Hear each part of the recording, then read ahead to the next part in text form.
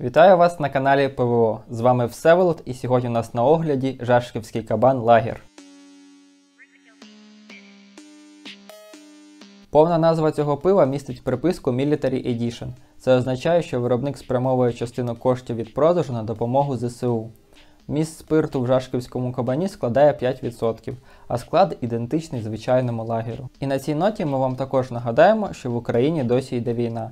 Тому поставте наше відео на паузу та задонайте в будь-які благодійні фонди. Переходимо до дегустації.